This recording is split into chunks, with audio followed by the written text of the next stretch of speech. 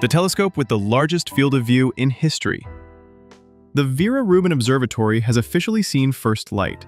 Astronomers have released the results of its test observations. The images show cosmic phenomena captured on an unprecedented scale. In just 10 hours, the observatory saw millions of galaxies and stars in the Milky Way, as well as thousands of asteroids.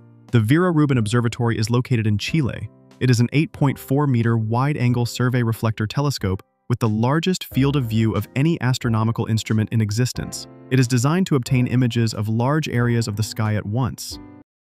Millions of distant galaxies.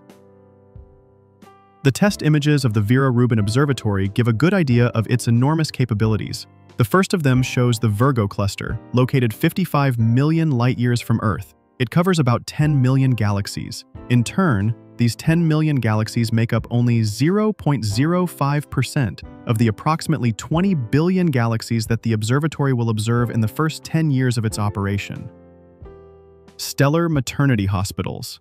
The second image shows the Trifoliate Nebula and the Lagoon Nebula. Its full resolution is 5 gigapixels, made up of 678 exposures, taken over 7.2 hours of observations. In total, the image contains about 2 trillion pixels of data. No other observatory is capable of imaging such a vast area so quickly and with such depth. The telescope will also be an ideal tool for detecting interstellar visitors, objects originating from outside our solar system, such as the asteroid Oumuamua or comet Borisov.